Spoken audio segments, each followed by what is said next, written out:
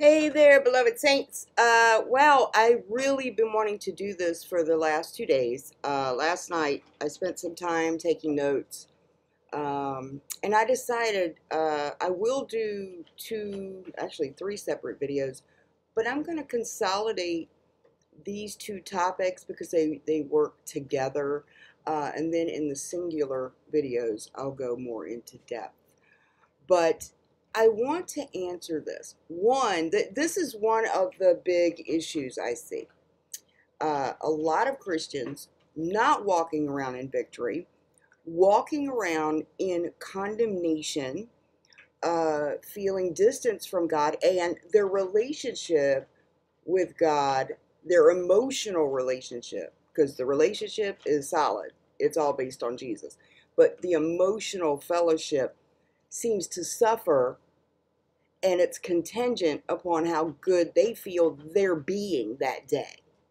Whether they slipped up, whether they did a good work, or whatever. And we, we can't base our relationship with God on us because okay, we we just we have to go to the right foundation. Uh, why we can come boldly, and and that's an important word, boldly to the throne of grace for help in the time of need. Uh, there's a reason boldly is used there.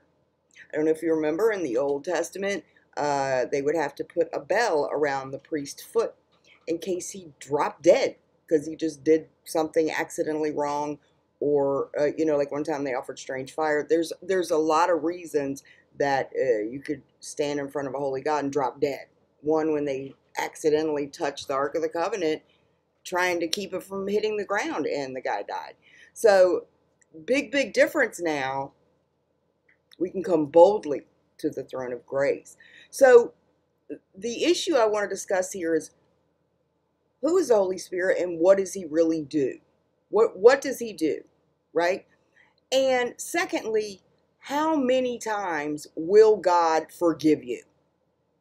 And I know that sounds silly, but but we need to answer this because there's people out here putting limits and caps on it and everybody's got their own line drawn in the sand uh, that's different, right?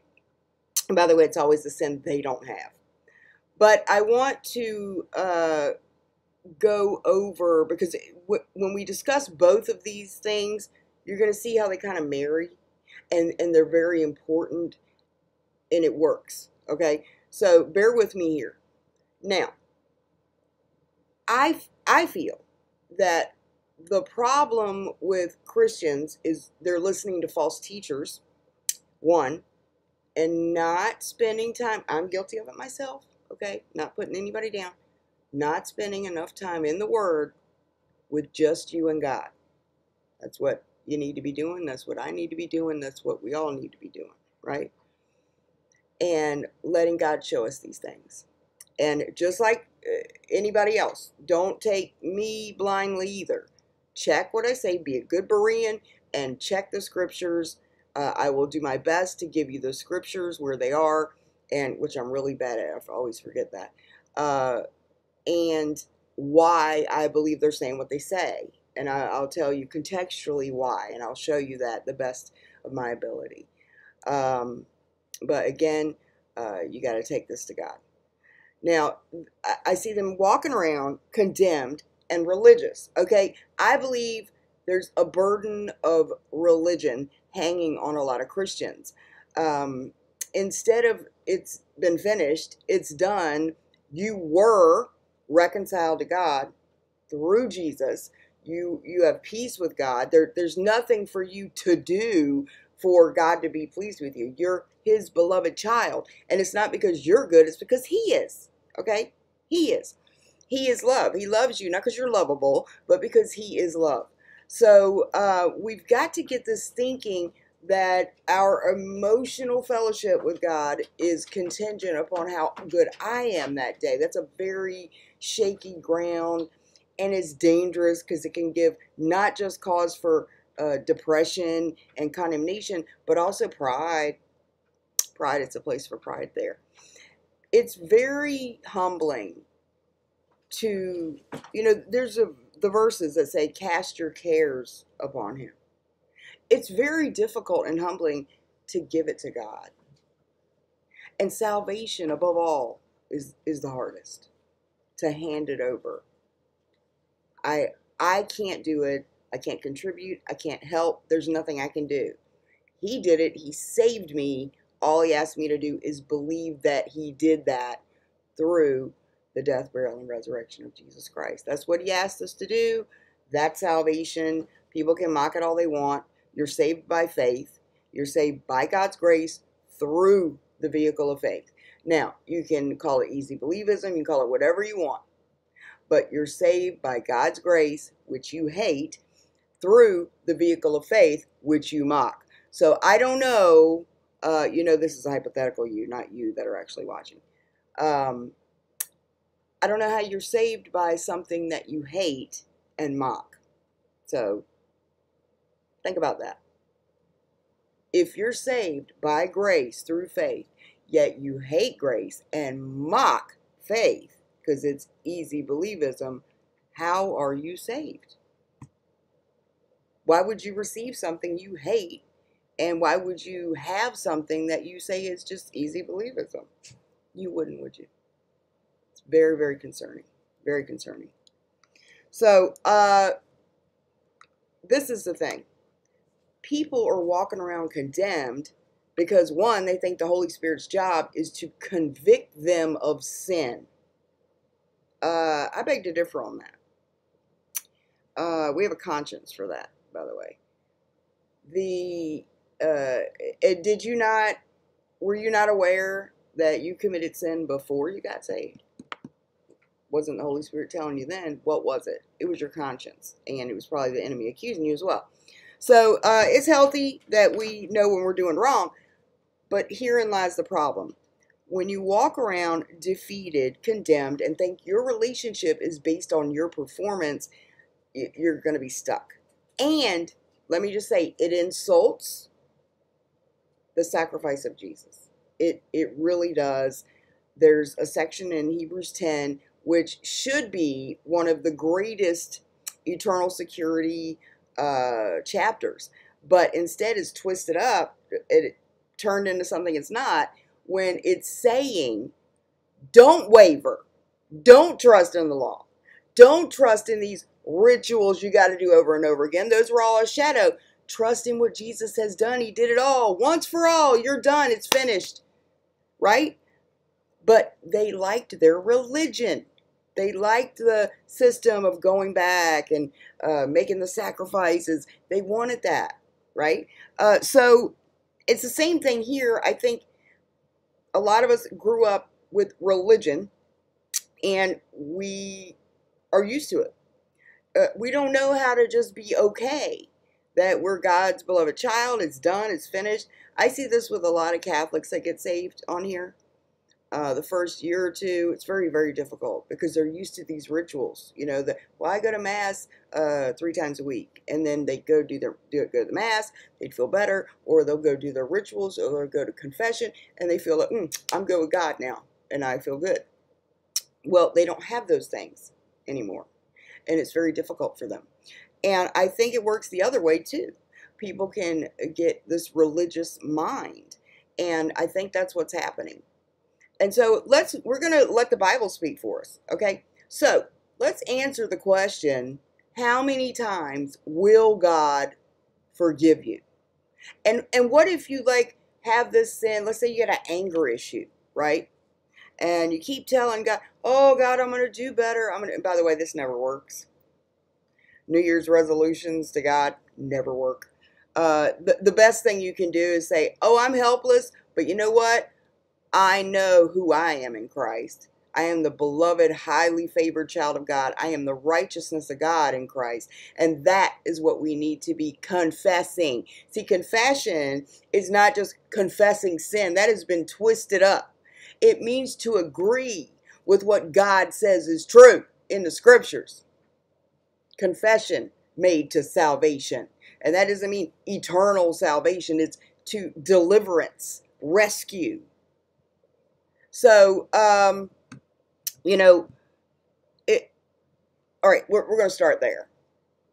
How many times will God forgive us? Let's say you got an anger problem and uh, you, you keep saying I'm going to do better, but you, you lost your temper and you raised your voice or you made an ugly hand sign to a guy driving next to you, something, right? Every day you're dealing with this anger issue and it's a habitual sin. How many times is, is God going to forgive you for that? What, what if you just, uh, I'm just, you know, and just get used to it. You keep doing it. What, is God going to keep forgiving you? How many times? Well, I'll tell you how many times God will forgive you.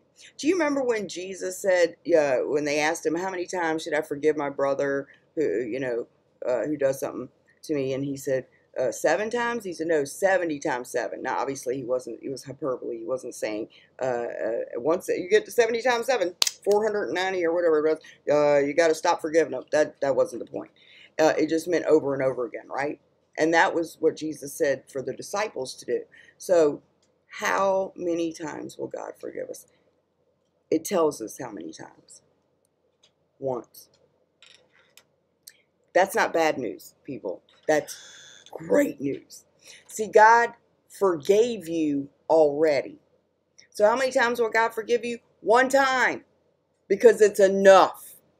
He forgave you all trespasses, and you've been perfected. Once for all. Okay? Under the old covenant, every year they would have to make the animal sacrifice, right? For the sin. So they have to have a memory or a remembrance, not not a list of, oh, I did this wrong on December 18th. And I did not like that. Okay, not the confession that the Catholics have.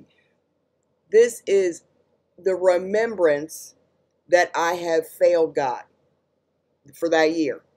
I know I don't know them all, but I failed. So the bringing up the sin remembrance, right? The to the comers there too perfect is what it's talking about. The comers there too when they came to the high priest, they had to remember or recall and admit that they had sinned. Okay, that's a remembrance of sin. They're bringing it up in order to be atoned for, right? Uh, by the sacrifice of the animal. But Jesus purged our sins. Purged them, gone. You know, to purge something, uh, it, it, means to get it out. So uh, it was done. And that's what people can't seem to get here.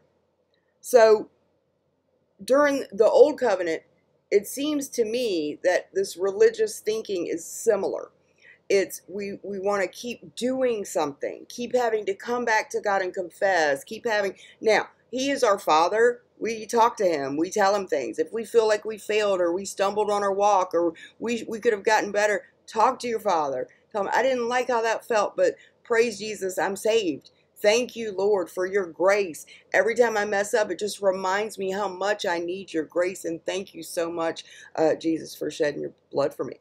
So that I know I can be at peace with you and have this relationship with you. That's our attitude. Not, you know, oh, uh, I'm just a filthy sinner. Now. No, that guy died, okay? That sinner, that, that dead, he's dead. The old man is dead and gone. You were created a new uh, creature in Christ. All things have become new. And I, again, I say this all the time that people think it means I used to be bad, now I'm good. That's not what it means.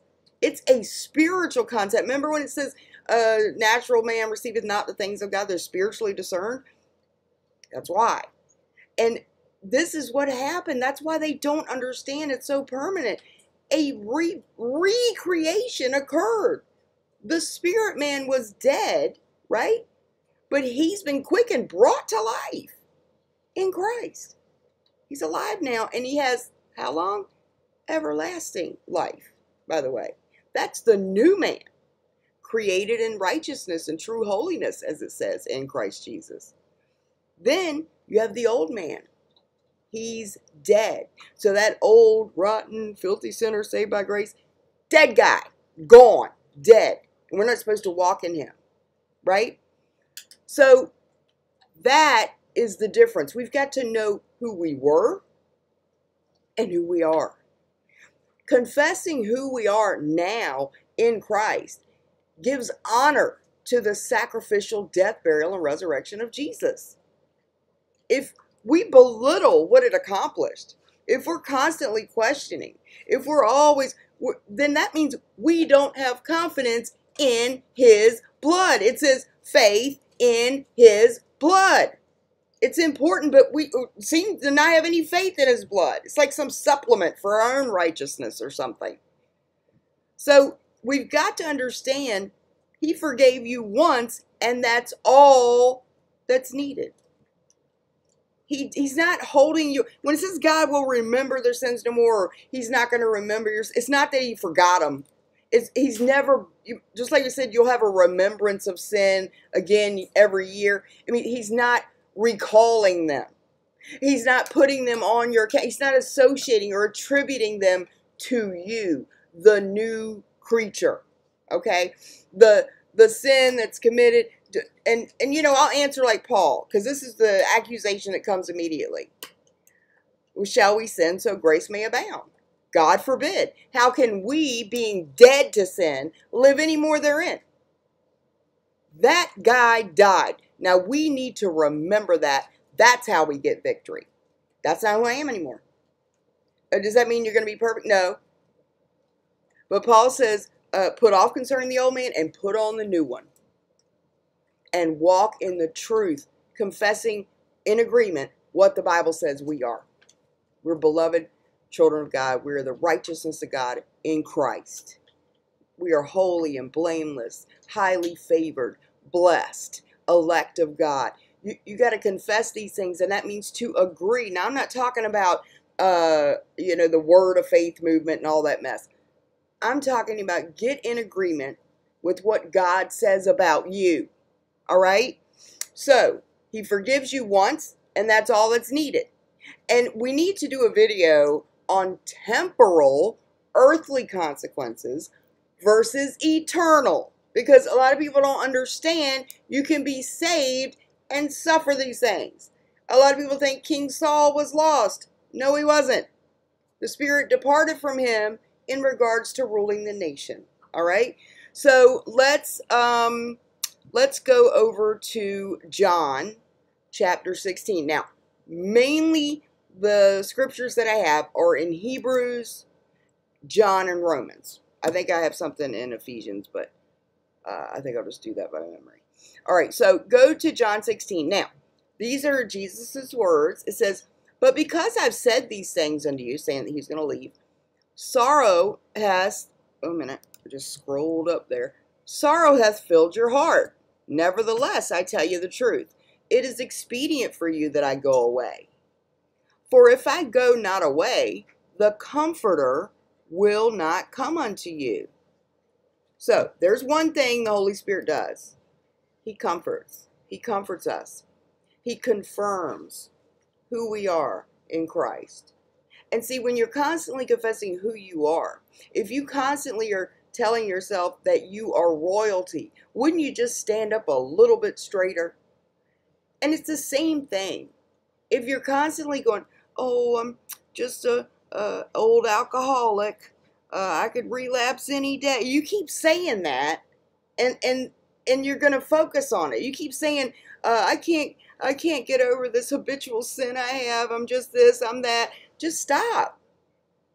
You're the righteousness of God in Christ and you keep agreeing with that and you're going to say wait a minute the new person here doesn't touch that it, and eventually you won't want it it'll decrease it's when you're when you're when you're feeding the spirit and not the flesh it'll get less and less strong okay uh, it doesn't mean that we're perfect or any of that I'm just saying you're not going to get victory until you understand that God already forgave you. You're in right standing with God. You're his beloved child. Salvation is a done deal, all based on Jesus. He wants you to know that. And he, te- he gives us these instructions to have a heart in full assurance of faith. And, and what an insult it is uh, and belittling the sacrifice of Jesus to act like that's not enough or you're somehow keeping it or you're gonna it's just religion It's all it is. It's all it is. And let me tell you, ooh, religious people hate me and hate this message. They do not like this message because it, you can just come, it's not about you or how you're living or any of it because your relationship is based on Jesus, not you. Now, does that produce more sin in your life? No, it doesn't. It's the constant focus on sin and law that strengthens sin because the strength of sin is the law. So uh, they got it backwards. The constant focus on legalism, condemnation, that that is what is creating the struggle. But agreeing with God, who you are in Christ, that gives you strength to actually walk it out. So Jesus continues here and he, he calls the Holy Spirit, capital C, comforter. So that's one of the things he does. He comforts us. And he says, The comforter will not come unto you unless I go away, but if I depart, I will send him unto you. And when he is come, he will reprove who of sin? The world of sin and of righteousness and of judgment. Of sin, why why? Because they drink too much and fornicate? No, because they believe not on me. So what what is the Holy Spirit doing? He is convicting the unsaved of the fact that they are sinners in need of a savior and they need to believe on Christ. So he's bearing witness to who Jesus is and what he's done. That's why to blaspheme the Holy Spirit is not possible for a believer because it means to constantly reject Jesus uh, with the Holy Spirit bearing witness over and over and over again to you, and you still reject the truth. So, um, you see here, it's, it has nothing to do with uh, condemning the believer and constantly making the believer sin conscious. We don't need that. We already know when we're failing. and I, I never get that uh, from him condemning voice anyway. It's more like that's not who you are. I, I don't get the condemnation anymore. And, uh, oh, it, it'll sneak back in now. I've got to constantly be in the Word. If I'm not in the Word for a while, I can get frazzled. I can tell you that. Uh, so, when he's come, he will reprove the world of sin and of righteousness and of judgment. Of sin because they believe not on me. And you'll see that in, I think it's First John where he says, if we say we have no sin, we deceive ourselves and the truth isn't in us, right? This is what his job is to do. He's telling the unbeliever, you are a sinner. There was literally Pharisees, I'm sure, uh, claiming just that's why John wrote it that they don't sin or there was no such thing as sin, etc., etc. Or I, you know, I keep the law perfectly. All these I've kept since my youth up. What lack I yet? Remember that guy? So a lot of people thought they didn't sin. And there's still people today claiming I haven't sinned in 10 years. I still, I can't even say that with a straight face. I don't know how they do it. All right. So the sin that he's reproving is unbelief. All right. Of righteousness, because I go to my Father and you see me no more. Of judgment, because the prince of this world is judged. So we are constantly confirmed by the Comforter who we are in Christ. Not this constant sin consciousness, but who we are. You are the righteousness of God in Christ. For instance, why don't you go to any epistle by Paul and see what Paul does? Yeah, he goes and he corrects the church when there's crazy behavior, like when they're doing temple prostitution and one guy's having an affair with his father's wife and crazy stuff like that. Oh, he corrects the bad behavior, and we're not against that. We believe in that too. But he confirms always God's love for them, who they used to be is not who they are now, how their sins are forgiven, how everything that they have, the hope that's before them, he's always reaffirming this hope, this truth. It, it, preachers aren't doing that. They're condemning, they're making it about you. But Paul constantly, constantly uh, had them uh, stand strong. Uh, in faith in Jesus is just Him. So we can see that He is also the Spirit of truth here. When the, He, the Spirit of truth, is come, He will guide you into all truth. For He shall not speak of Himself. But whatsoever he shall hear, that shall he speak, and he will show you things to come. He shall glorify me, for he shall receive of mine and shall show it unto you. Uh, so he's always going to bear witness to Jesus. He's always going to elevate Jesus. He's always going to lift Jesus up. He's always going to confirm what he did on Calvary was enough. If I'm I'm so sick of these people claiming to be prophets and prophetesses Uh, saying the Holy Spirit said this and the Spirit of the Lord told me, and that is not his voice a bunch of condemnation, a bunch of belittling of the blood of Jesus. It just wasn't enough. Some loophole where God's going to make you unborn somehow and the new creation is going to be unmade. Do you see how crazy that is? We need to do something on what happened when you got saved. Like, I've done videos similar, but we need to do one and say, this is what happened. This is another reason it's impossible for you to lose it because you've been recreated into something new. And if you look into the uh, old language, it's a whole new thing. That that guy, the dead guy, gone. The flesh guy who reckoned him dead, that guy was dead. But the new man has been recreated into something completely new, created in the likeness of Jesus. That's who we are. Why are we condemning ourselves? When he says we're we're in him. As he is so are we in this world. We got to get this or we're never going to grow. The world doesn't need more religion. It's got plenty of it and it doesn't save.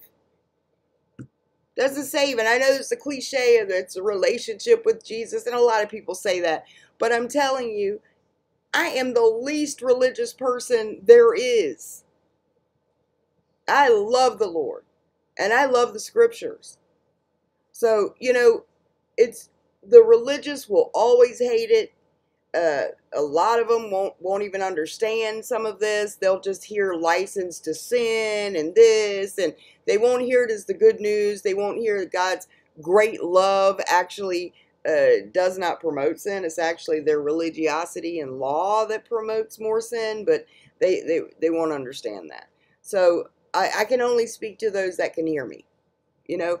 And I know I can be difficult to take. I can be rough around the edges. If you don't like me, I'm happy to give you uh, some really good, real gospel gentlemen that are great preachers. Don't don't don't not get saved because you don't like me. You don't have to like me. I'm just a, a mouthpiece here. Uh, but I'll be happy to give you some um, great men of God that can lead you and answer your questions. So uh, let me see here. Oh, I'm hoping I didn't mess up. Hold on. Okay, sorry. All right, so let me close this one out. I want to read this to you. Just a little reminder, okay? In Romans 5, it says, Therefore, being justified by faith, which, you know, they mock, we have peace with God through our Lord Jesus Christ by whom also we have access by faith into this grace wherein we stand. You hear that? Wherein we stand and rejoice in hope of the glory of God. Now, hope in the Bible is a sure future possession. Biblical hope is not, mm, maybe you might, ooh, I hope so. It's not like that. Biblical hope is a sure future possession. Okay? Uh, rejoice in the hope of the glory of God. Not only so, but we glory in tribulations also, knowing that tribulation, tribulation worketh patience, and patience experience, and experience hope.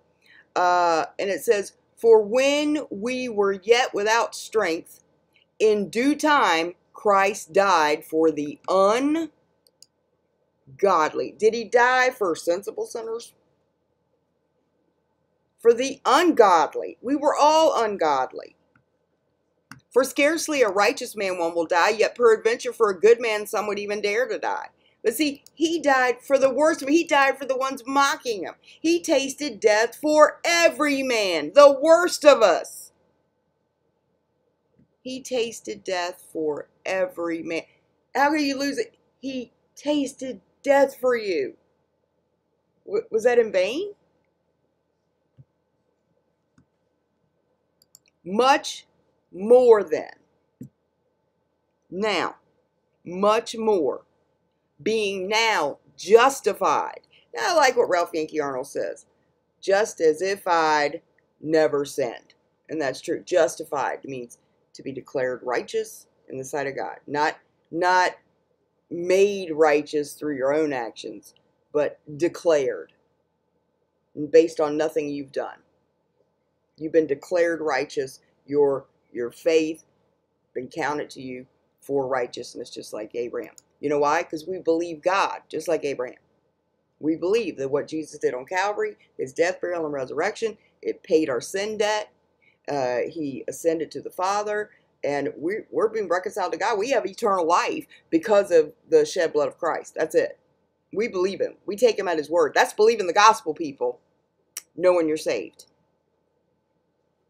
And if you don't know that, you're not believing the gospel.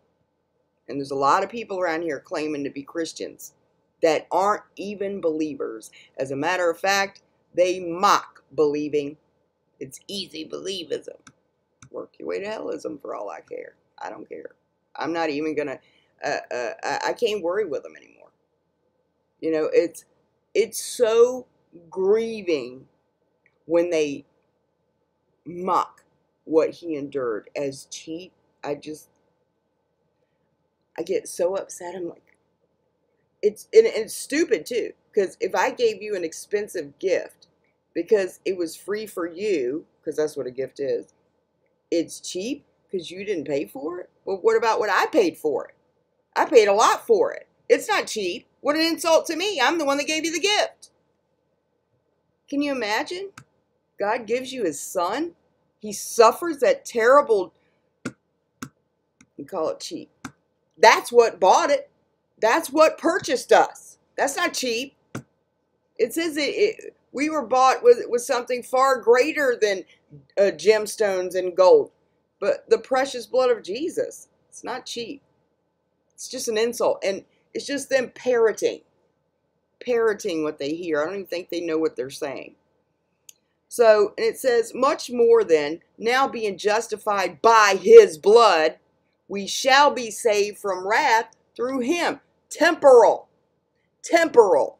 Okay? For if, when we were enemies, we were, see how this is past tense? We were reconciled to God by the death of his son. What reconciled us to God?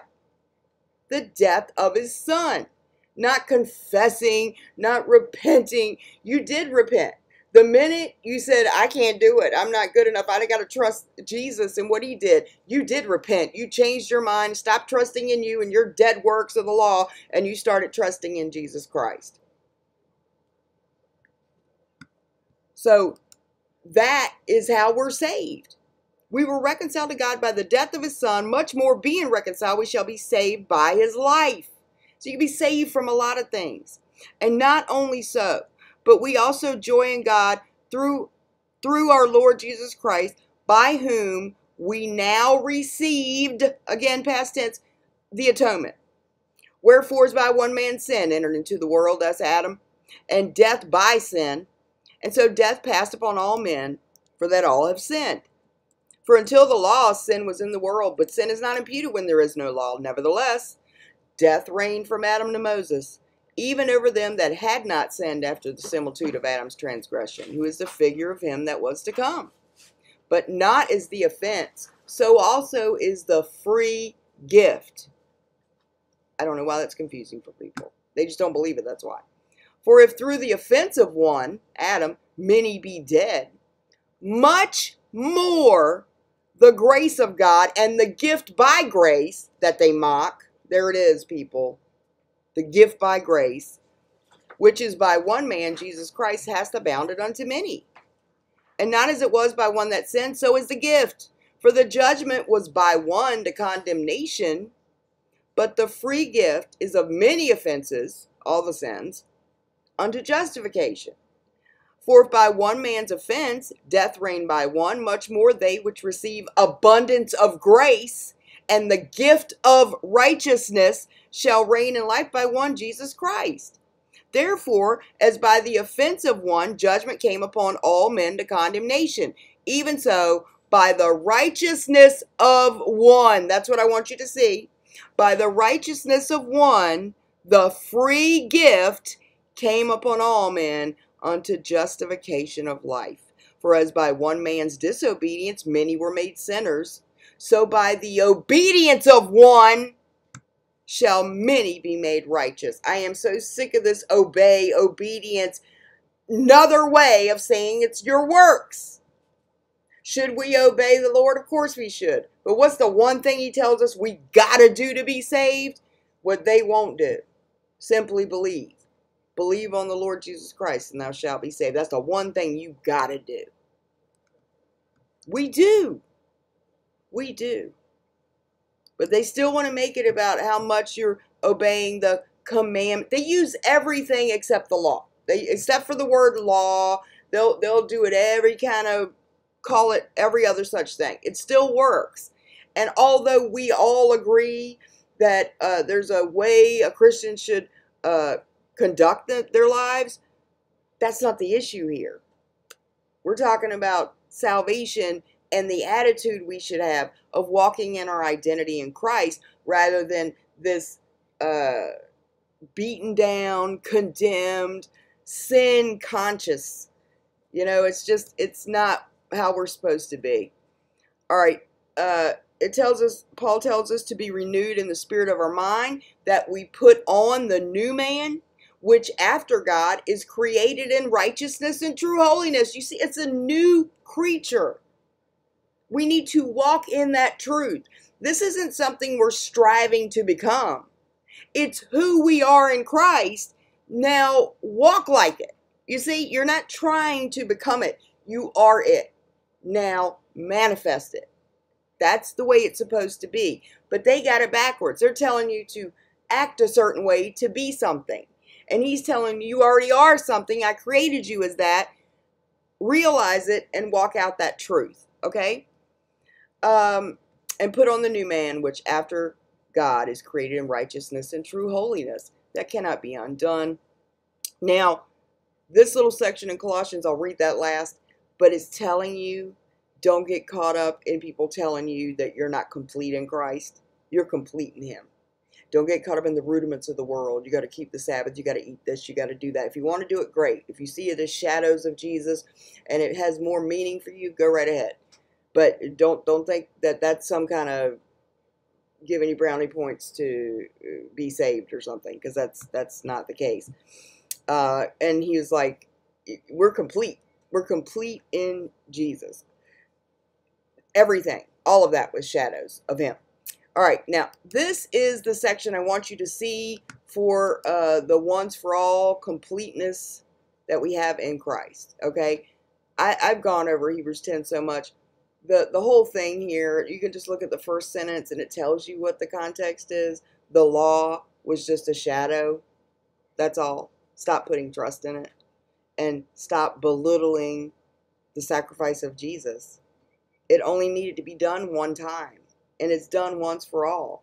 It's not every year continually like the animals. And then every year you got to keep remembering your sin. We don't remember it anymore. God's not remembering it. Again, it's not that he forgot. It's he's not recalling it. He's not bringing it and attaching it to you. You're his beloved child. Uh, he sees you in, in Christ, Jesus, in your place. You're the new creature. He's not uh, attributing these things to you. He's not holding them against you for all eternity. That doesn't mean that if we do something terrible here, we won't have consequence. We have earthly consequence for it. Okay? I'm talking about eternal damnation is not a consequence for a believer. Okay? So, let's go over to Hebrews chapter 10. For the law, having a shadow of good things to come and not the very image of the things, can never with those sacrifices, which they offered year by year continually, make the comers thereunto perfect. Now, this chapter tells us we have been perfected forever That's why I have my hat on right now. Perfected. Can you say it? Gonna it. Steffi got these made. Uh, I was able to get um, some of them out to you guys a couple years ago. I just love it. She made this one. She made the blue one. So, Jesus plus nothing. Remember that. And I'm thinking of getting some made for this ministry. I think it'd be good. You know, and every now and then somebody will ask about it. The Jesus plus nothing perfected forever. I love it. I love it. It's the gospel like uh, crunched down, you know, condensed. All right. So it says uh, those sacrifices never made people perfect, right? For then they would have ceased to be offered. They wouldn't have had to keep making them, right? But in those sacrifices, there is a remembrance, again, made of sins every year. Now, what is the implication here? Those people, they had a remembrance constantly of their sins again, that God needed to be reconciled uh, uh, with them again because of their sin over and over again, right? So they'd have to recall their sin again after the next year. But now that that's not necessary. It you can't because it insults the blood of Jesus. Listen, it says because the worship, worshipers once purged should have had no more conscience of sin. You see that? So what, what he gets to here is that we should have no more conscience conscience of sin in the sense that God is holding them against us. And so we need to do these for them, the rituals and the sacrifices. There remaineth no more sacrifice for sin. It's been done. Jesus already did it once for all. God's not accepting anything else. That's why there remains, if you sin willfully by rejecting him and his once for all sacrifice. That's what the willful sin here is. This, this makes me crazy how they twist that up. It is so clear what that's about. Uh, if if you reject that, if you willfully sin by rejecting his once for all sacrifice and try to uh, get it through some other sacrifice, there is no more sacrifice for sin. God's not going to accept it because he died once for all. Okay, that's what he's trying to say. It's done, it's finished. He forgave you once because that's all he needed to forgive.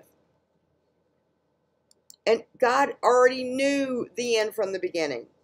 He knew what you were going to do. You don't think Jesus bore the sin of the future? I, I didn't live uh, 2,000 years ago.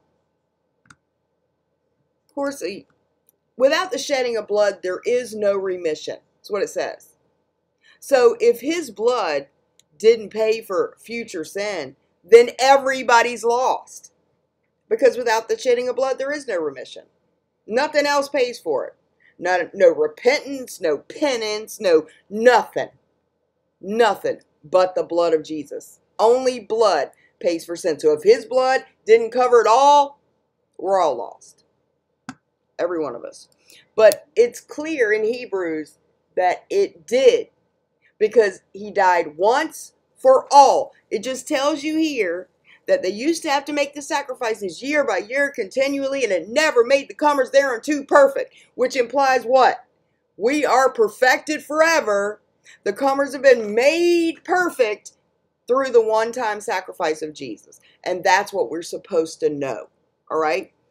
So, it is not possible that the blood of bulls and goats should take away sin.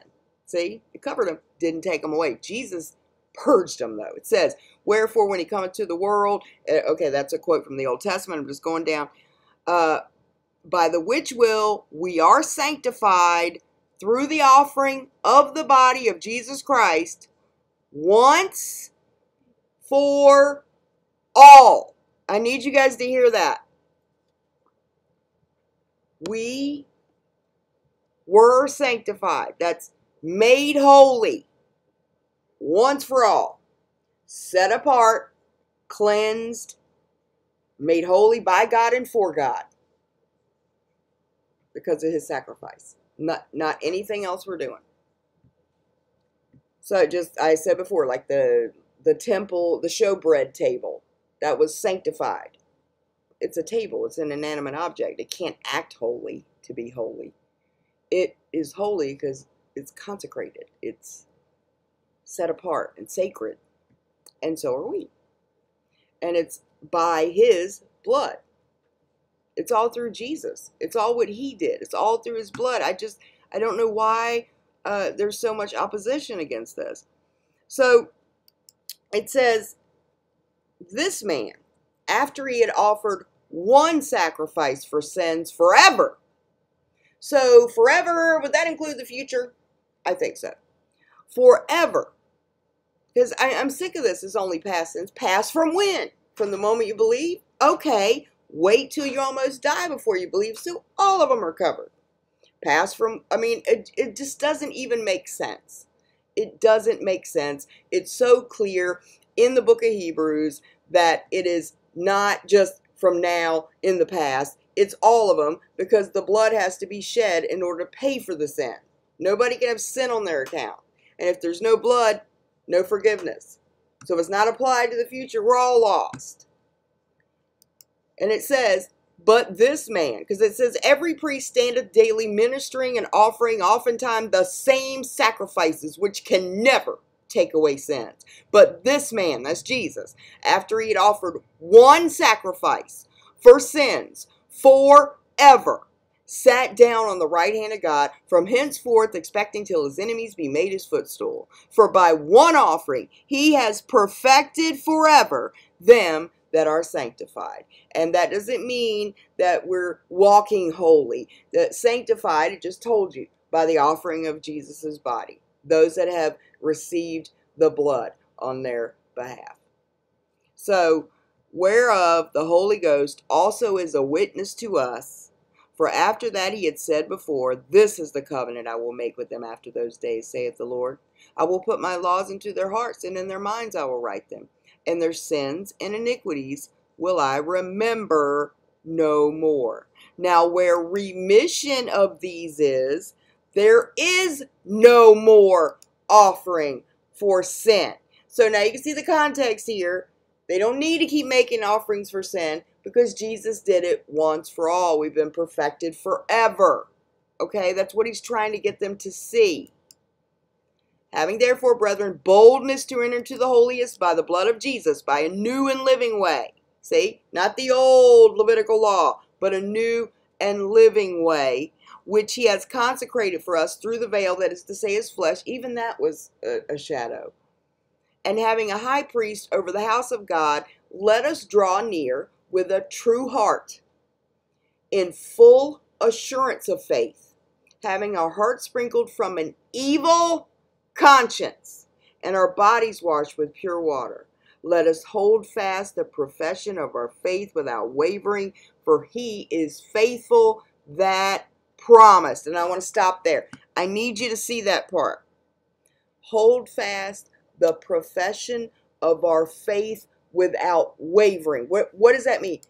He wants you to have confidence that it's done. You've been reconciled to God. That, well, for them, that the sacrifices are no longer necessary because Jesus died once for all. You've been made holy, sanctified, set apart for God, by God. You're his beloved child. All of that. Okay? And he wants us to have a true heart in full assurance of faith. Does it sound like he wants you to question or wonder? No, it's an insult that it was his blood enough. And when it says an evil conscience, so in God says the religion tells you, oh no, you got to walk around dejected and sin conscious all the time and confessing your sin all the time. And by the way, that confess your sins is not a, a confession like the cat. It, it's to admit you're a sinner because if you don't do that, you can't be saved because he saves sinners. So you got to admit you're a sinner. And some people actually believe they didn't sin. So that's what that's about. Uh, we don't run around, you know. Now, uh, when it talking about confess your sins one to another so that you may be healed, that has nothing to do with uh, eternal salvation anyway. So we've got to apply these things uh, correctly in the right context. So having a heart sprinkled from an evil conscience, and these sprinkling references, this is all Old Testament sacrificial terms, uh, and, and, it's pretty amazing if you study it. Uh, but holding fast the profession of our faith without wavering. He doesn't want you wavering. He doesn't want you wondering. He doesn't want you unsure. For why? For he is faithful that promised. See, that's why we have security. Because God, who cannot lie, promised before the world began. He promised us eternal life. And Jesus said, Whosoever liveth and believeth in me shall never die. Believe thou this? Yes. Yes, I do. Thank you. You should too. It's really that simple. Man, the enemy doesn't want you to get this. He's still tearing me up. I just had something go wrong with my car two days ago. I was like waiting for it. Okay, this happens and then the car, and then this happens and then the car. I'm waiting. I'm waiting, but that's all right. I it it, it held me up a little bit, but I still got here. I still did it. So I'm making it a priority. It, it doesn't matter what gets in my way or causes the delay. I, am doing my ministry. I had to come back uh, full force here, and uh, you know, there's something. Somebody don't want me doing it. I'm gonna tell you that. I don't believe it's the Lord. So uh, this is the main thing I wanted you to see. You need to have your heart sprinkled from an evil conscience. The Holy Spirit convicts the world of sin because they don't believe. Okay? He's the comforter and he convicts us of our righteousness. We're the righteousness of God in Christ. Our right standing, of our new identity, of our relationship as a beloved child of the living God, because that encourages godly living. When you know who you are in Jesus, it doesn't promote sin. That's it that none of that even makes sense because Paul even said, Sin shall not have dominion over you, for you're not under law. You're under grace. So grace actually uh, promotes Jesus focused living. And that's what we need to be. See, the whole evil conscience is self centered. Me, me, me, what I didn't do, what I didn't do right. It's all about you. But Jesus centered. That's important. Uh, so I'll do a, a detailed uh, video on each one of these subjects, but hopefully you could see how we had to meld them together. You know, how many times will God forgive you, and uh, what what does the Holy Spirit do? Because th this is really important. If you think the Holy Spirit's con condemning you constantly and convicting you of sin all day long, that's not really uh, I mean, we have a conscience. That's not really his job. He's the comforter, he's the teacher. Now, he'll teach you and instruct you in the ways of righteousness, but it doesn't come with a condemning voice. Uh, it, it confirms who you are. And it always lifts up Jesus. That's why when these prophets come and tell me, uh, oh, he said you, uh, the Lord had a word for you, Renee. He said you can lose salvation and you better. And I was like, the Lord didn't tell you none of that. You need to stop. And by the way, he can tell me himself. He don't need to tell you. He can tell me. So it's it's all it's not his voice. It's not his voice. You know, my sheep know my voice. They hear me and they follow me. And another they won't follow. So, you know, discernment doesn't come immediately when you're a babe. It really does come when you've spent a lot of time in the Word. When you when you take time studying the Word, it, it's not something that that comes right away. So we cannot say a person isn't saved because they don't understand this. I don't understand a lot of stuff. It's it's when the basics aren't understood. And not only are they not understood, they're hated, like our blessed assurance, the blood of Jesus, uh, why we're a new creature, why it can't be undone, why salvation is by His grace through faith alone. That that's it. We believe God, and He counts it to us for righteousness. You know, these things are are gonna. The religious, they're not gonna get it the lost man won't get it. And Jesus said said so. He said, "My sheep hear my voice and they follow me." So people, they're they're not his sheep. They can't they can't hear him, and that's why they mock it, and that's why they hate it. And uh, you know, I I don't know. I'm not anybody's judge. Uh, I just wish everybody would believe this is the greatest news in the world. And the main thing that I'm worried about is there's there's babes in Christ having their joy stolen and getting confused. And not just babes, man. I've seen people saved many years getting confused by like Ray Comfort and John MacArthur or Paul Washer because they're so sincere and they're theologians and eh, it, they're very confused. They get sucked into it. And it's very sneaky because they use the right terminology, but they redefine those words. And so they sound right, but something's off. And it's, it's just very, very sneaky. Okay, guys. Uh, hopefully, uh, you know what? I, I, I want to say, why don't you guys tonight, as believers, why don't we all read Hebrews chapter 10 tonight? And remember the context. Just reread the first first line of uh, chapter 10, and it'll bring the context right back to you. You know, the law having a shadow of good things to come. So, um, because there is a lot in this chapter to really confirm your faith uh, and to help strengthen you. You've been perfected forever. So let go of that evil conscience and have a heart, a true heart, in full assurance of faith. All right, you guys. God bless.